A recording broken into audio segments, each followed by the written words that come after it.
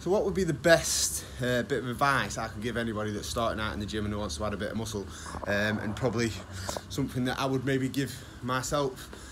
10 years ago, what the advice I would have given myself then. Um, and regarding exercise selection in the gym, like far too many of us sort of piss around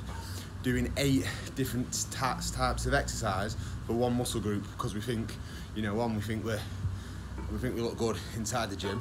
uh, feel, like we know what we're doing, when in actual fact the only really thing that we should be focusing on is how intense we're actually training the muscle and how much volume we can put through it at maximum intensity. Now that is the main thing that we need to be worrying about. Now if you're fucking about doing six, seven, eight different types, types of exercise, the number one thing that's going to be suffering is your intensity um, and that you're going to be able to put that muscle under because like for one you're messing around changing different exercises and you're getting cool and you're losing that momentum.